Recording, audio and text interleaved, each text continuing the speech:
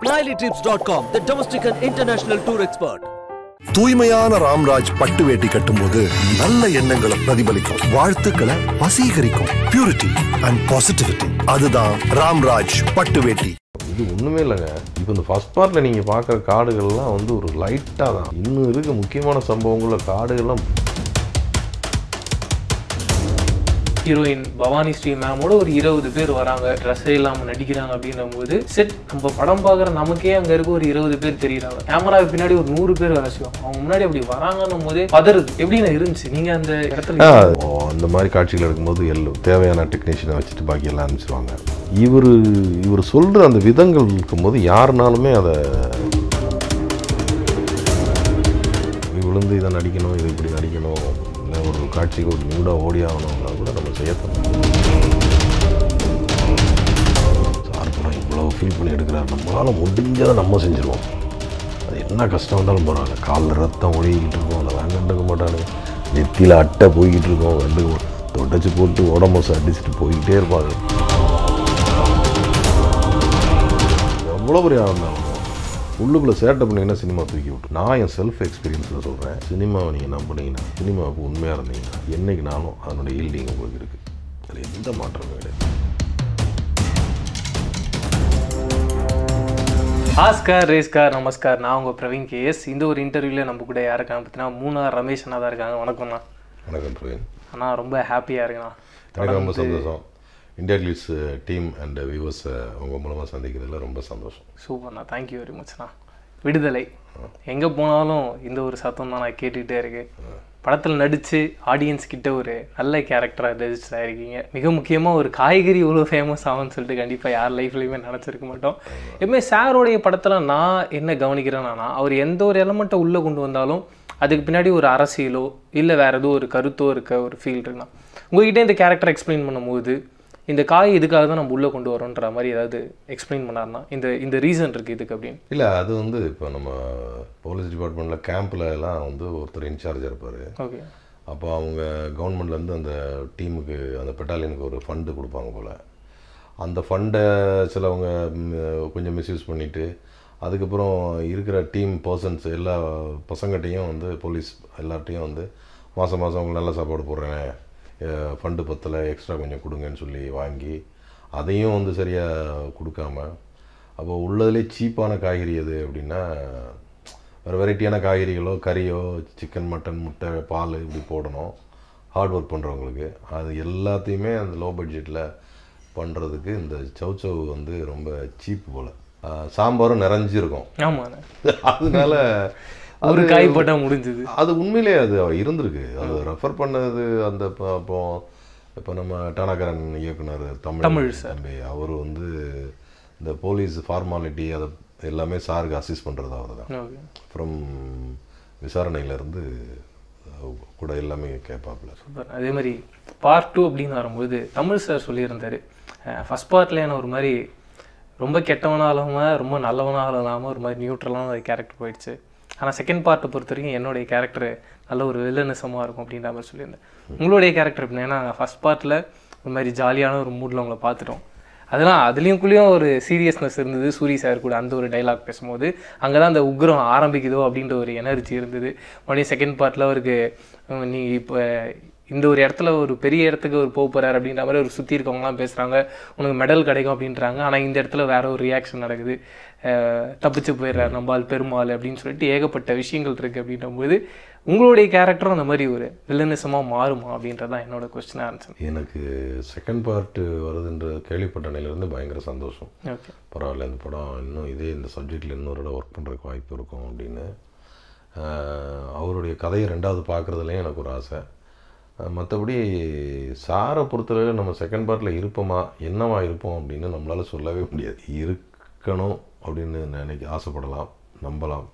But என்னவா இருக்கும் அப்படின்றது ஸோ இதனுடைய தொடர்ச்சியாக அப்படி இருந்தாலும் நம்ம இது இதோட இன்னும் கொஞ்சம் ஜாஸ்தியாக அதே மாதிரி தான் வருமே தவிர அவருடைய அதோ அதே மெயின்டைன் பண்ணுற கேரக்டர்ஸாக தானே இருக்கும். ஓகே பட் அந்த மெயினான கருவில் என்னென்ன மாறுது அப்படின்றது நோ ஐடியா சூப்பர் அதே மாதிரி நான் ஒன்று கேள்விப்பட்டேன் ஒரு பயங்கரமான காட்டு பகுதியில் அந்த மிஸ்ட் இருக்கா மாதிரியான ஒரு சீக்வன்ஸை நிறைய நாள் ஷூட் பண்ணாங்க. அதுதான் ரொம்ப டிஃபிகல்ட்டாக இருந்துச்சு. அது ஒரு மாதிரி பிளாஸ்டாக இருக்கும். இந்த பார்ட்டில் அது இல்லை. நீங்கள் அந்த மாதிரியான பொசிஷனில் இருந்தீங்களா? இல்லை இல்லை இல்லை. அந்த போர்ஷனில் இல்லை. ஓகே ஆமாம் அது பயங்கர ஒரு பயங்கரமான பயங்கரமான ஒரு மலை முகோடில் எடுத்தாங்க. ஓகே இது லைட்டாக ஸ்லிப்பான அகல பாதாளம். அந்த மாதிரி ஒரு இடத்துல எடுத்தாங்க. அதுலலாம் நம்ம சேது சூ சூரி சேத்தன் இந்த மாதிரி பாலஹாசன் இன்னும் போலீஸ் டீமு அந்த மக்கள் படை இவங்க தான் நடிச்சிருந்தாங்க. நான் அந்த நம்ம சாப்பாடு கொண்டு போகிற டிபார்ட்மெண்ட்டில் இருந்ததுனால அவ்வளோ இதில் அதில் நான் இல்லை. பட் வந்து அதனுடைய இதெல்லாம் கேள்விப்பட்டேன் அந்த ஃபோட்டோஸ் பார்த்தேன். சில இடங்களுக்கு நான் போயிருக்கேன். ஓகே. போயிருக்கேன். நான் சும்மா கூட போய் விசிட் பண்ணிட்டு வந்திருக்கேன். அதனால் அது ரொம்ப ரொம்ப ரொம்ப மோசமான இடங்கள். அதெல்லாம் இன்னும் காட்சி வந்துச்சுன்னா பயங்கரமாக இருக்கும். இது ஒன்றுமே இல்லைங்க. இப்போ இந்த ஃபஸ்ட் பார்ட்டில் நீங்கள் பார்க்குற காடுகள்லாம் வந்து ஒரு லைட்டாக தான். இன்னும் இருக்க முக்கியமான சம்பவங்களில் காடுகள்லாம் அந்த இடங்கள்லாம் போகவே முடியாது. ஃபஸ்ட்டு இந்த சத்தியமங்கலத்தில் க கடம்பூர்னு ஒரு இடம். அங்கே அங்கே நான் போகலை. அங்கே ரொம்ப கஷ்டப்பட்டு போயிருக்காங்க. அங்கே எடுத்த இட காட்சிகளும் சரி இப்போ சிறுமலையில் வந்து அந்த அது சம்மந்தமாக எடுத்த ஒரு இடங்கள்லாம் அந்த டெரைன் பயங்கரமாக இருக்கும். ரொம்ப மோசமாக இருக்கும். அது இயற்கையாக மிஸ்ட்டு மட்டும்தான் ரிலீஃப் பாக்கி எதுவுமே கிடையாது. அந்த மாதிரி இடங்கள் போயிருக்காங்க. அது செகண்ட் பார்ட்டில் வரும். ரொம்ப பிரமிப்பாக இருக்கும். சூப்பர்ண்ணே நீங்கள் சொல்லும் போதே தெரியுது. நீங்கள் பார்த்த ட்ரெய்லர் தான். மெயின் பிக்சர் பின்னாடி தான் வருது. எல்லாரும் அதை தான் கேட்டாங்க. செகண்ட் பார்ட் உடனே பார்க்கணும் அப்படின்ற மாதிரி தான் ரசிகர்கள்லாம் சொன்னாங்க. அது அதனால் நீங்கள் அதை எதிர்பார்க்கலாம் அதில். ஆனால் இந்த படமாக பார்த்ததுக்கு அப்புறமா ஒரு ஆர்டிஸ்ட்டுக்கு ஒரு ஃபீலிங் வரும்லண்ணே ஒரு நம்பிக்கை வரும். அதை தாண்டி உங்களை இதுக்கு முன்னாடி பார்த்தவங்க எல்லாருமே ஒரு ரஃப்பான கேரக்டரில் பார்த்துருப்பாங்க. இந்த படம் அதை சேஞ்ச் பண்ணியிருக்கு. நிறைய ஆர்டிஸ்ட்டுக்கு அந்த மாதிரியான ஆமாண்ணே. ஃபீல் பண்ணுறீங்களா ஆமாண்ணா ஒரு ஒரு காமெடி ஃப்ளேவரில் ஒன்று இருந்துச்சுல்லண்ணே நீங்களா காமெடி அதை பண்ணல. பட் அந்த கேரக்டரை ஒன்று காமெடியாக பார்க்கும்போது ரொம்ப ரகடான ஒரு ஆள் இவ்வளோ நாள் பார்த்துட்டு இருந்தது. கொஞ்சம் பிரேக் பண்ணி இல்லை இவர் ஜாலியாகவும் பார்க்க முடியுன்ற ஒரு ஃபீலுக்கு கொஞ்சம் சாஃப்ட் கார்னரில் பயங்கர ரிலீஃப் இதில் ஆமாண்ணே. ஆக்சுவலாக நாங்கள் எப்பயுமே காமெடியோடு இருக்கிற ஆளுங்க தான் டீம் எல்லாருமே ரொம்ப ஹியூமராக இருப்போம். இங்கே போனாலே எல்லாம் ஜாலியாக தான் இருக்கும். சார் முன்னாடி மட்டும் தான் கொஞ்சம் சீரியஸாக இருப்போம். இந்த ரோலுக்கு ஆக்சுவலாக நான் படம் ஷூட் போகும்போதே நம்பினேன். எல்லாருமே சொன்னாங்க இது இது உனக்கு பயங்கரமாக ஒர்க் அவுட் ஆகும் அப்படின்னு. எல்லாருமே சொன்னாங்க சாரும் அதை சிரிப்பார் இந்த மாதிரி. எப்படின்னா அந்த மாதிரி நிறைய சீன்ஸ் எடுத்தது. ஓகே அதெல்லாம் வந்து இப்போ கதையை நோக்கி போகும்போது அது கொஞ்சம் ட்ரிம் ஆகுது. ட்ரிம் ஆயிடுச்சு. Okay. இல்லைன்னா இதை விட பயங்கர சிரிப்பான சீன்ஸ் எல்லாம் இருக்குது. அன்னைக்கு கூட ஒரு காட்சி வந்து ஒரு சொன்னார். அந்த நைட்டு அந்த கேம்பில் எல்லாம் தூங்கிட்டு இருப்பாங்க. பேரக்ஸ்னு சொல்லுவாங்கல்ல தூங்கிட்டு இருப்பாங்க. அப்போ நான் நைட்டு கடைக்கு போயிட்டு வரும்போது உள்ளேருந்து கத்துவானு இருட்டுக்கல நம்ம ஹாஸ்டல்ல எல்லாம் கத்துவோம்ல. ஆமா. வார்டனை பார்த்து அதே மாதிரி ஏய் சௌ சௌ அப்படின்னு கத்துவானு. வர்றான் அதுக்கப்புறம் ரெண்டாவது கத்துவானுங்க. அப்புறம் உள்ளே போயிட்டு யாரா அவன் கத்துனது யாரா யாரா யாரா அப்படின்னு தூங்குவானுங்க. அப்போ சொல்லுவேன் டேய் கண்டுபிடிச்சி உங்களை என்ன பண்ணுறேன்னு பாருங்கடா. காட்டுக்குள்ள ஒருத்தன் டூட்டி பார்க்குறான்ல அதே மாதிரி இவங்களை ஆக்குறேன். அந்த மாதிரிலாம் இருந்துச்சு. அதெல்லாம் செம்மையாக காமெடியாக இருந்திருக்கும். சூப்பர் அதே மாதிரி படமாக பார்க்கும்போதுனே ஒரு சில இடங்கள்ல சாரு அங்கே சீக்வன்ஸாக ஒரு சில டைலாகை பேசியிருக்காரு. அப்புறமா டப்பிங்கில் வந்து அதை இன்னும் ஸ்ட்ராங்காக மாற்றணும் அப்படின்றதுக்காக டைலாக்ஸை சேஞ்ச் பண்ண ஒரு ஃபீல் இருந்துச்சு. அவர் உங்ககிட்ட நீங்கள் ஒர்க் பண்ண இது வரைக்கும் ஒர்க் பண்ணியிருக்கீங்க சார்கிட்ட நிறைய படங்கள். அப்படி இருக்கும்போது உங்ககிட்ட அந்த மாதிரியான டப்பிங்கில் டைலாக்ஸை மாற்றி சேஞ்ச் பண்ணி பேசியிருக்கீங்களா? அது என்ன நடந்திருக்கா? அதுதான் நடக்கும். ஐயோ அது சாரை சொன்னால் சிரிப்பாங்க. அது வந்து டப்பிங்கில் உறுதியாக மாறும். எனக்கு இல்லை எல்லாருக்குமே மாறும். இப்போது காரணம் ஒரு கதையை அவர் எடுத்துட்டாரு. அந்த கதையை பண்ணுறாரு ஷூட்டிங் ப்ராசஸ் போகுது. அதுக்கான காட்சிகளை பெருசு பெருசாக எடுத்துகிறாங்க எடுத்துட்டு அந்த அந்த ஷூட்டிங் டியூரேஷன் முடிகிறதுக்குள்ளே நம்மளுடைய அந்த கதைகளினுடைய நோக்கமும் அதனுடைய எதிர்பார்ப்புகளும் இல்லை இதை ஏற்றுக்குவாங்களான்ற நிறைய பல கண்ணோட்டங்கள் மாறிக்கிட்டே இருக்கும்.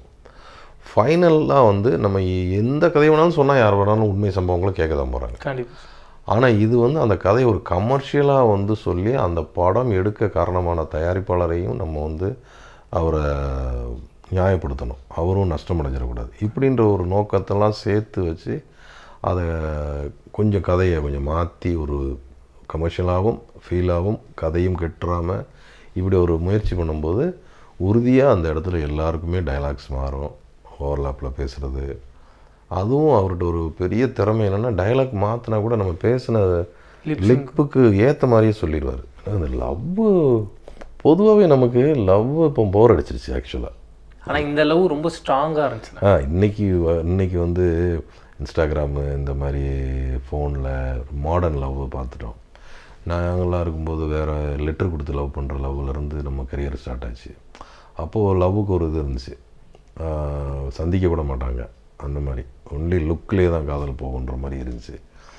இது இப்போ ரொம்ப ஓப்பனாக லவ்வு அடுத்து பிரேக்கப்பு அதுக்கப்புறம் ஒரு லவ் அப்படின்னு ஆகிடுது டெக்னிக்கலாக இப்போ டெக்னாலஜியில் போயிடுச்சு. அந்த லவ்னுடைய ஒரு ஒரு பயங்கர ஒரு ஆழமான இதை யாருமே உணர்றதில்லைன்ற மாதிரி ஆகிப்போச்சு அப்புறம் இவர் வந்து சூரி வந்து அந்த லவ்ன்றதை விட நான் அதை- அதை இன்னொரு இன்டர்வியூலேயே சொன்னேன் நான். அதாவது ஒரு இந்த அவங்க லவ் ஸ்ட அந்த ரொம்ப கன்ஃபார்ம் ஆகி போகிறது வந்து அந்த மீட்டிங் நடக்கும்போது இவங்க நைட்டு ட்ராப் பண்ணுற அந்த இதில். எதுலேயுமே அவருக்கு அந்த ஒரு ஒரு பயங்கர ஹண்ட்ரட் பர்சன்ட் லவ் ஒரு பொண்ணு ஒரு அந்த இதே கிடையாது. அது மீறின ஒரு ஏக்கம் பாசத்துக்கு. ரொம்ப அழகாக பண்ணியிருந்தார் சார். அது எப்படின்னே எனக்கு தெரியல. ரொம்ப ஒரு கொட்டாயிடுச்சு அதே மாதிரி எனக்கு அந்த கிளைமேக்ஸும் ரொம்ப பிடிச்சிருந்துச்சுண்ணா ஒரு லவ்வுக்காக ஒரு மனுஷன் எந்த எக்ஸ்ட்ரீம் போனால் போவான்ற அந்த இடம். ரொம்ப ஜஸ்டிஃபை பண்ணியிருந்தாங்க. இந்த ஏக்கம் நமக்கே இருந்துச்சுல்ல. டிஎஸ்பிட்ட போகிறான் டிஎஸ்பி அந்த பொண்ணை காப்பாற்றிட மாட்டாரா அப்படின்னு. கடைசியில் அந்த வளையல் எடுத்து ரொம்ப கஷ்டமாக இருந்துச்சு. அதுவும் ஒரு பெரிய ஒரு பெயின் தான் ஒரு சில ஆடியன்ஸுக்கு அது முடிஞ்சிருச்சான்ற ஒரு கொஸ்டினும் இருக்கு. என்னவா இருக்க போகுது அப்படின்னு. அடுத்தது என்னவா காட்ட போகிறாங்க ரெண்டு பேருமே பயங்கர சிம்பத்தியாக இருந்தாங்க. அந்த பொண்ணும் ஈ- பவானியும் வந்து ஐயோ பாவம் அந்த பொண்ணு யாருமே இல்லை அப்படின்னு. இவரும் வந்து அப்படி ஒரு இங்கே டார்ச்சரு அவர் சொல்கிறது ரொம்ப நல்லா இருந்துச்சு. இந்த டார்ச்சரெல்லாம் த- உனக்காக வேண்டி தாங்கிக்கிறேன். உன்னையும் பார்க்க போக முடியும் போக முடியாதோன்னு நினச்சி தான் நான் தாங்கிக்கிறேங்க. எக்ஸ்ட்ரா காதல் இல்லைல்ல ஒரு ஒரு யங்ஸ்டர்ஸுக்கு ஒரு லவ்வுங்கும் போது ஏதாவது ஒரு இடத்துல ஒரு ஹக்கோ இல்லை ஒரு ஏதோ ஒன்று வரும்ல. ஒரே ஒரு இடத்துல அந்த பாறை பக்கத்துல அப்படி கை அது வந்து நம்பிக்கை. அதுதான். அதுதான். அது அந்த வரிகளுக்கும். ஏற்ற மாதிரி அந்த இடத்துல. அதே மாதிரினா இப்போ நம்ம ஒரு கேரக்டர் பண்றோம் இங்க இவ்வளோ அடி உதைகள் ஒரு மாதிரி ராவான ஒரு ஃபீலுக்குள்ள போறோம். என்னதான் அது செட்டப்பாக இருந்தாலும் அதை தாண்டி ஒரிஜினலாகவும் நிறைய அடிகளும் அது அ- அப்பதான் அந்த ஒரு அந்த ஃபீலை நம்மளால ஆடியன்ஸுக்கு தர முடியும் அப்படின்னு. ஆனா எனக்கு என்ன தோணுச்சுன்னா டேரக்டராகவும் அது எதிர்பார்க்கறது அவருடைய சைடில் பட் ஆர்டிஸ்டோடைய பங்களிப்புன்றது இந்த படத்தை பொறுத்த வரைக்கும் முழுசாக நாங்கள் கொடுத்துட்றோம் அப்படின்ற ஒரு ஃபீல் இருந்துச்சு. ஏன்னா ஹீரோயின் பவானி ஸ்ரீ மேமோட ஒரு இருபது பேர் வராங்க. ட்ரெஸ்ஸே இல்லாமல் நடிக்கிறாங்க அப்படின்னும் போது செட் நம்ம படம் பார்க்குற நமக்கே அங்கே இருக்க ஒரு இருபது பேர் தெரியுறாங்க. கேமரா பின்னாடி ஒரு நூறு பேர் வேலை செய்வாங்க. அவங்க முன்னாடி அப்படி வராங்கன்னும் போதே பதறுது. எப்படின்னு இருந்துச்சு. நீங்கள் அந்த இடத்துல இருந்திருக்கேன். அதுக்கு காரணம் என்னன்னு சொல்கிறது அந்த காட்சிக்கான முக்கியத்துவம். ஓகே. அந்த காட்சிப்படுத்துறதுக்கு முன்னாடி சார் எல்லார்ட்டையும் பேசுகிற விதங்கள்.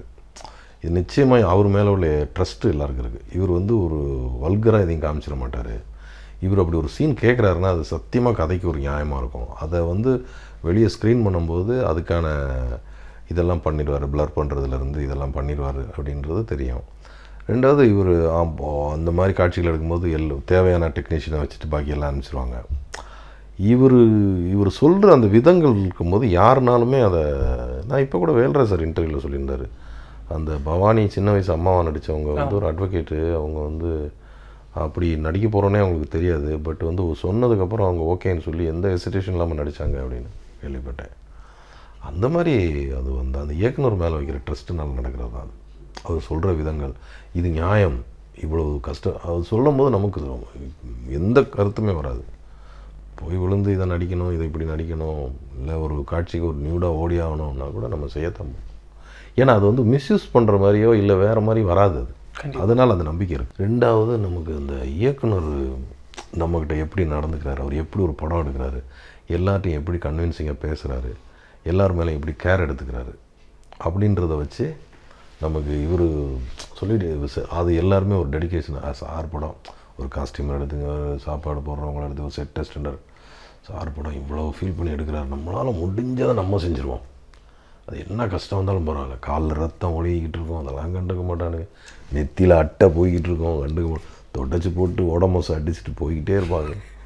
அதுமாரி ப்ரொடக்ஷன்ஸ்லேயும் சாப்பா சாப்பாடுன்றது ரொம்ப ஒரு உழைக்கிறவங்களுக்கு ரொம்ப முக்கியம். மூணு நேரம்.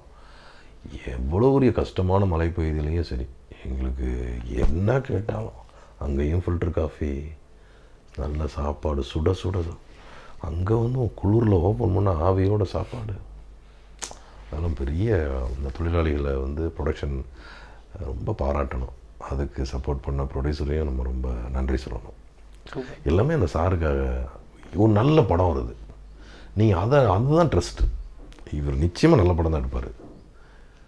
யாரையும் இதாக உழைக்கிறவங்கள வந்து இதுவான் வேலை தானே அப்படின்லாம் சொல்ல மாட்டார். அதனால தான் காரணம். அதே மாதிரிண்ணே இப்போ ஒரு ப்ரொடியூசராக ஒருத்தர் வராரு. முதல்ல ஒரு படம்ன்றாங்க. அதுக்கப்புறம் ரெண்டு படமாக மாறுது. எப்பயாவது ஒரு வாட்டி செட்டுக்கு வந்திருக்காரா சார்? அவர் ரொம்ப வந்தது. எப்போ ஒரு தடவை வந்திருக்காரு. ஒரு தடவை நான் ஒரு தடவை தான் பார்த்துருக்கேன் அவர். அந்த இதுவும் ஷூட்டிங் முடிகிற டைமில் பார்த்துருக்கேன். அவருடைய ரெப்ரசன்டேட்டிவ் திரு மணின்னு சொல்லி அவர் தான் கூட இருந்து சார் கேட்குறதெல்லாம் செஞ்சு கொடுக்குறது. எப்போவோ ஒரு தடவை வந்திருக்காரு. அவ்வளோதான் அடிக்கடி எல்லாம் விசிட் பண்ணுவாங்க. அங்கே அந்த டிஸ்டர்பன்ஸ் எதுவுமே இருக்காது. சார் கேட்குறாருன்னா எல்லாம் ப்ரொவைட் பண்ணிடுவாங்க அவ்வளோதான் அதே மாதிரிண்ணா வெற்றிமாறன் சார் விடுதலைக்கு முன்னாடி ஒரு படம் பிளான் பண்ணாரு. ஆக்சுவலாக அது வந்து ஒரு அப்ராடில் நடக்கிற மாதிரியான ஒரு ஸ்டைலில் ஆமாம் கோவிட்னால அது பண்ண முடியல. சப்போஸ் அது பண்ணியிருந்தா அதுலேயுமே சூரி சார் தான் ஹீரோவாக பிளான் பண்ணாரு. ஏன்னா சாரோடைய கரியரை பார்த்தோன்னா ஒரு தனுஷ் சார் மாதிரி ஒரு ஹீரோ கூட பண்ணுறாரு டக்குன்னு ஒரு சின்ன படம் பண்ணுறாரு விசாரணை மாதிரி ஒரு படம் பண்ணுறாரு மறுபடியும் தனுஷ் சார் கூட ஒரு படம் பண்ணுறாரு டக்குன்னு ஒரு சின்ன படம் பண்ணுறாரு அவர் கொஞ்சம் அவர் செட் பண்ணிக்கிட்டே வர்றாரோ அப்படின்ற ஒரு ஃபீல் இருந்துச்சு. இந்த மாதிரியான ஒரு கரியர் கிராஃப் யாரும் வச்சு நான் பார்த்ததில்ல. ஒரு டேரக்டர் இவ்வளோ டிஃப்ரெண்ட்டாக பெரிய ஹீரோஸ். ஸ்டார்ஸ் கிட்ட தான் போவாங்க. பட் இது கொஞ்சம் டிஃப்ரெண்ட்டான ஒரு பார்வையாக இருந்தது. ம் அதான் மொத்தத்தில் எல்லாத்துலேயுமே அவர் எல்லாத்துலேருந்து கொஞ்சம் டிஃபராக இருக்கிற ஆள் தான் அவர் அதுக்கு காரணம் நிறைய படிக்கிறாரு. நிறைய நாவல்ஸ் படிக்கிறாரு. அந்த பீரியடில் அவருக்கு எந்த நாவல் படிக்கும் எந்த கதையை படிக்கும்போது மனசுக்கு பிடிக்குதோ இல்லை அதை தோணுதோ அப்படி அதை வச்சு பண்ணிடுறாரு. அஜ்னபீன் அப்படின்னு ஒரு நாவல் தான் ஃபஸ்ட்டு நம்ம கொரோனாவுக்கு முன்னாடி போகிறதா இருந்துச்சு. அதில் எனக்கு வந்து ரொம்ப லக்காக அது போலீஸ் ரோல் இல்லை நல்ல ரோல் எனக்கு. நான் சூரி எம்எஸ் பாஸ்கர் சார் அப்படி எல்லாரும் ஃபோட்டோ ஷூட்லாம் போயிட்டோம். போயிட்டு அந்த ப்ராஜெக்டில் இது விட நல்ல ரோலு நம்ம வெளிநாட்டில் நம்ம மக்கள் இருக்கிற ஒரு இங்கேருந்து குடும்பத்தை விட்டு வேலை செஞ்சு கஷ்டப்படுற அந்த மாதிரி ஒரு கதை அது. கரெக்டாக எல்லாம் டிக்கெட்லாம் விசா போகிறது நேரத்தில் கொரோனா வந்துருச்சு. அப்புறம் தான் இது விசா இது விடுதலை. இது நம்ம நினச்சி பார்க்காத அதான் அவர் எதை எப்படி ஆரம்பிக்கிறாருன்னு தெரியாது. ஆரம்பித்ததுக்கப்புறம் அதனுடைய ஒரு விஸ்வரூபங்கள் நம்ம கூட இருக்கிறவங்களுக்கே அதை நம்ப முடியாது. சிவாஜியில் ஒரு மிக முக்கியமாக ஒரு சின்ன சீக்வன்ஸில் ஒன்று வந்திருப்பீங்க. என்ன சி அப்படி கட் பண்ணி இங்கே லால் சலாமில் ஒரு கேரக்டர் லைஃபோடைய அந்த சேஞ்ச் எப்படி நான் பார்க்குறேன் ஐயோ ரொம்ப பெரிய சேஞ்ச் அது பேசிக்காக தலைவர் ரசிகன் நம்ம. இப்போது சிவாஜி சிவாஜி ஷூட்டிங் போகிறது ஒரே ஒரு சீனு விட்டோன்னே சரி ஏதோ ஒன்று ரஜினி சார் பார்க்க போகிறோம் சங்கர் சார் போகலாம் அப்படின்ற ஆசையில் போனோம். அது வந்துச்சு. நல்லா இருந்துச்சு. தலைவர்கிட்ட இன்ட்ரடியூஸ் பண்ணி வச்சாங்க நல்லா பேசினார். அதுக்கப்புறம் அவர்கிட்ட தனியாக அவரோட போய் ஃபோட்டோ எடுத்தேன். ரொம்ப சிறப்பாக இருந்துச்சு. அதுக்கப்புறம் நம்ம இப்போ பார்க்க போகிறோம் அவர் கூட நடிப்புமா எவ்வளவோ படங்கள் வந்துச்சு. பேட்டையில் நடிக்கிற வாய்ப்பு இருந்துச்சு. அது ஏதோ ஒரு காரணத்தினால போயிடுச்சு. பட் இது வந்து அது எல்லாத்த விட ஒரு பயங்கர நல்ல ரோலு. ஐஸ்வர்யா மேடம் டைரக்ஷன் பண்ணுறாங்க நல்ல ரோலு. சிறப்பாக வந்துட்டுருக்கு தலைவர் கூட நடிக்கிற வாய்ப்பு இருக்குதுன்னு நினைக்கிறேன்.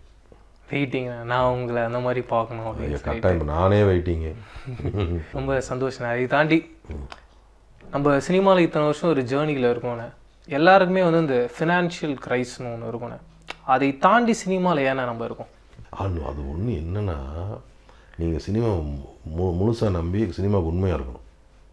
அது ரொம்ப முக்கியம். நீ எவ்வளோ பெரிய இருந்தாலும் உள்ளுக்குள்ளே சேட்டை பண்ணீங்கன்னா சினிமா தூக்கி விட்ரும் அது வந்து நீங்கள் நீ இப்போ கடவுள் நம்பிக்கை மாதிரி தான் அது.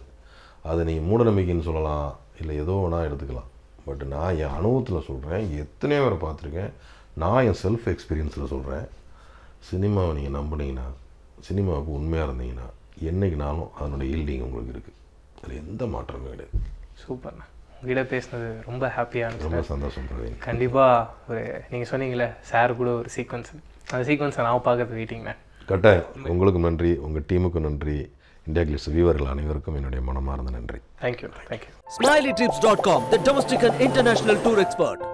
தூய்மையான ராம்ராஜ் பட்டு வேட்டி கட்டும்போது நல்ல எண்ணங்களை பிரதிபலிக்கும். வாழ்த்துக்களை வசீகரிக்கும். பியூரிட்டி அண்ட் பாசிட்டிவிட்டி அதுதான் ராம்ராஜ் பட்டு வேட்டி.